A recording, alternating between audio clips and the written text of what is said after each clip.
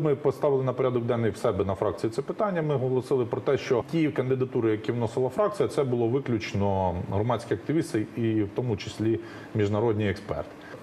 Не потрібно, щоб е, ця комісія обрала там трьох кандидатів, з яких там один буде більш вигідніший, ніж інший. Щоб вони були три, три однакових кандидата, щоб не зважаючи на те, кого б із них треба було призначити, не було потім спекуляцій з приводу того, що він або там людина, чиясь людина, або він не буде мати довіри в суспільстві. Тому що при це вже, скажімо так, це остання ланка. Вже набу ми створили, детективи запрацювали, але без антикорупційного бюро воно нічого не вартує.